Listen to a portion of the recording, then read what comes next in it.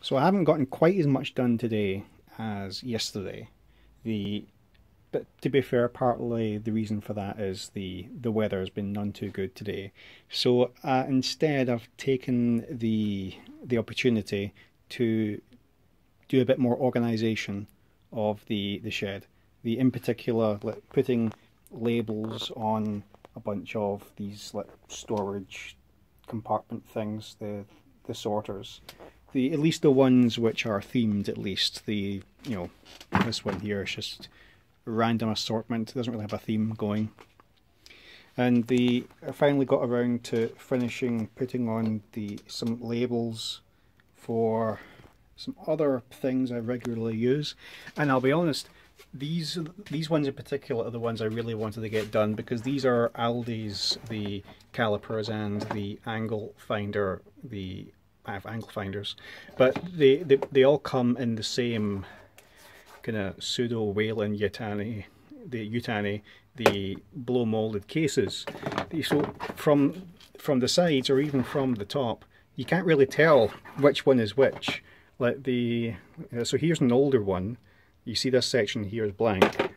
Here's a more modern one where they've decided to slightly etch in the a pictogram of a you can't focus. Yeah you can see this is calipers. And I've done the same thing on the these angle ones here.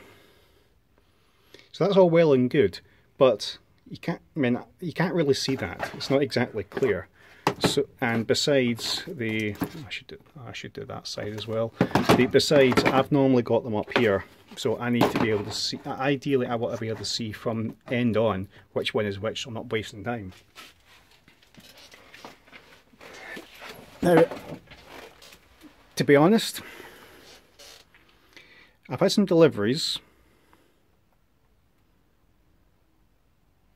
And I'm a wee bit intimidated just just a wee bit.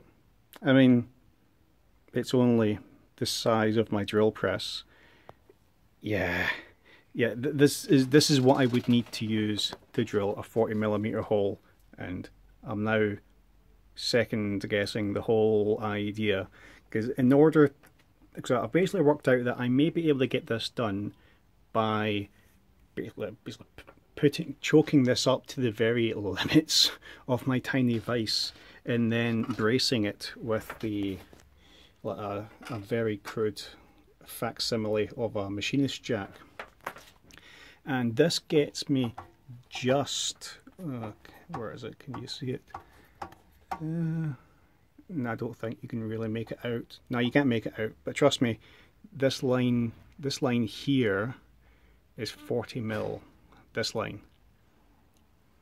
So to get it down here, I'm gonna have it's gonna have to go beyond the limits of my table. But I'm thinking what I might be able to do is use some of my other step drills first to get get it most of the way. You know, get it to like the 30 odd range, and have it choke, have it be properly in the vise for that. But then just for the the last couple of segments, put this thing in, and try and arrange it such that this tip will just fall into the slot and pray to God that if I clamp all this down as hard as I can that this thing won't come spinning out of the vise and knock out the rest of my teeth. Yeah. Yeah, it's a, it's a wee bit dubious. I'm, I'm starting to think it would, well, it would be safer if I, if I managed to find the online the right kind of a pipe the like 45 and a half mil pipe 2 mil diameter would give me a half mil clearing clearance of this. So I could get one of the, one of those sections of pipe and then weld the stuff I want onto it. And that would be much safer. But I'd have to then and I've already spent a chunk of money on this. I'd have to spend more money to get the pipe wait for delivery, and by that point I'm going to be back at work and I'm not going to have as much time to get this done. Yeah, this sounds like an accident waiting to happen, doesn't it?